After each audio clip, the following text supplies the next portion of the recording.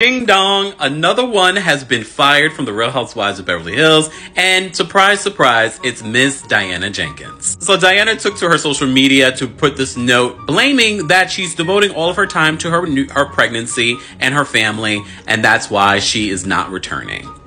Let's be honest, besides her saying it can't feel great to be a black content creator or her harassing Garcelle, Miss Diana Jenkins was a terrible housewife.